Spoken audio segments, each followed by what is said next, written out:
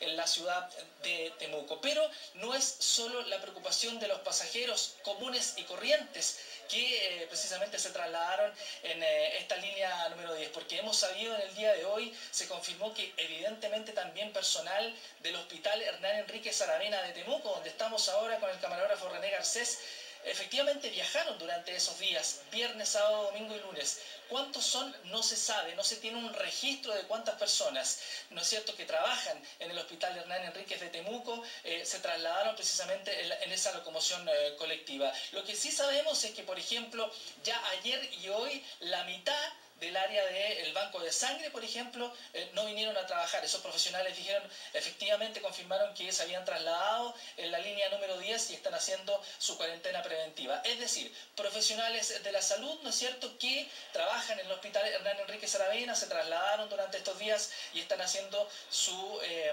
cuarentena preventiva. Lo repetimos, no sabemos cuántos son, hemos conversado incluso con la FENATS, no tienen un número claro todavía, pero esa es la preocupación, porque esas personas se tienen que quedar en casa haciendo la, em, la cuarentena preventiva y no pueden venir a trabajar al, al hospital más importante de la región de la Araucanía. Conversamos con ellos y estas fueron sus declaraciones. Bueno, nosotros empezamos hace como una semana atrás de abastecernos de todos los insumos que son los como lo más escaso en este momento, como son mascarillas, guantes, eh, para poder fumigar los taxibuses.